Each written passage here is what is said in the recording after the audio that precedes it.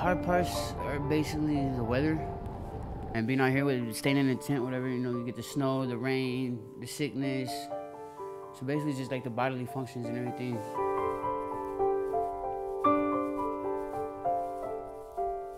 It's like it's like you're a disease walking down the street. Whether people want to treat you like a human or not, it's up to them. It's, you know what, sometimes it's a real son of a bitch, man.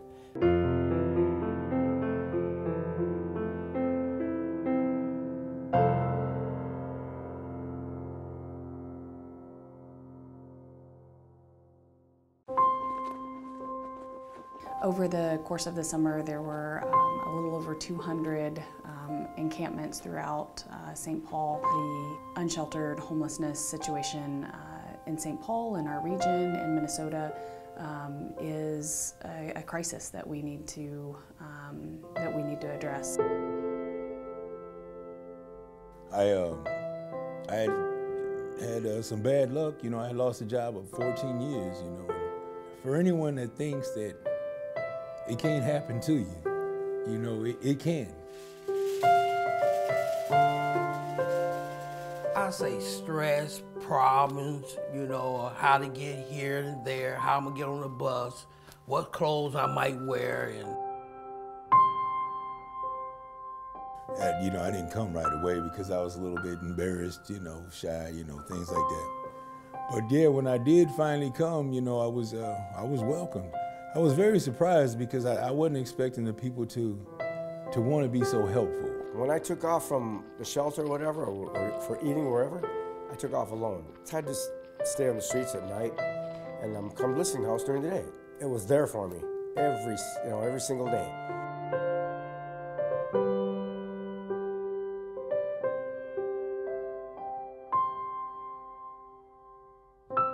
Key part of the strategy to help all of our residents find stability is efforts like what Listening House does.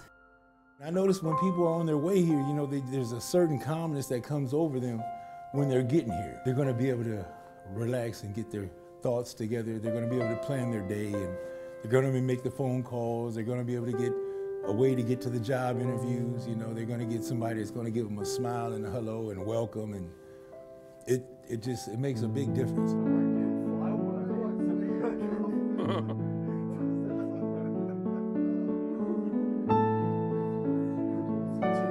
Our goal here is pretty much to make sure people are fed, make sure people are clothed, and try to get people housed.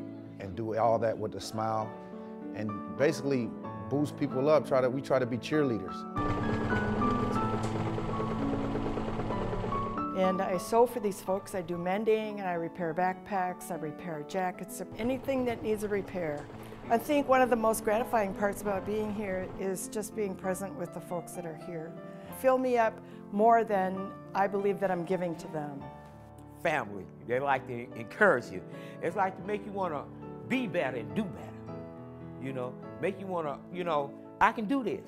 You know, I, I, can, I can succeed. I, I, can, I can do this. I can, you know, they, it's like a boost to help you do it.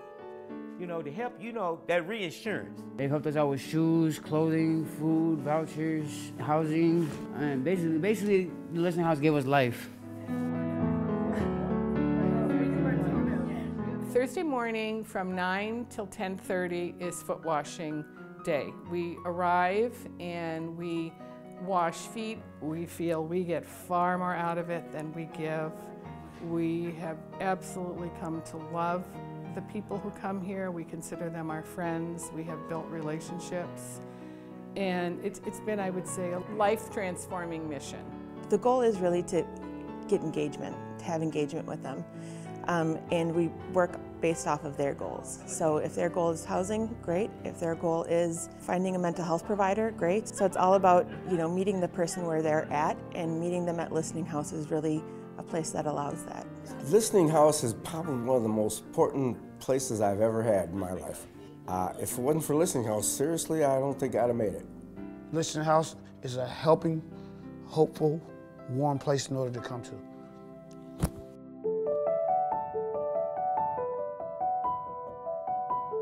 I was just calling you to let you know I love you and I'm thinking about you. That's about it. Cause of Our ultimate goal needed to be to find housing for individuals. For us, every single person that Listening House helps um, connect to um, housing supports and, and permanent housing, um, that's critically important. I am 42 years old. Both my parents were addicted to drugs when I was born. Because of their drug addiction, I was molested and, and, and, and touched as a child. It broke me because I had nowhere to live and, and, and I was homeless. And I met everybody at the listening house, and um, it made me feel like that if I continue to listen and take the help that they're giving me, I could come through this. So we definitely try to motivate, and that's the main thing is motivate and keep them pushing. And through that, there there comes housing. It really feels wonderful to have my own house. Without them, um, I would not have found this. I'm at home. And I can cook my own food and eat. I'm not hungry, wondering where I'm gonna get my next meal. I can go in the bathroom and take a bath. It's the greatest feeling. You can lay down and go to sleep with no stress. You can lay down and go to sleep with no stress.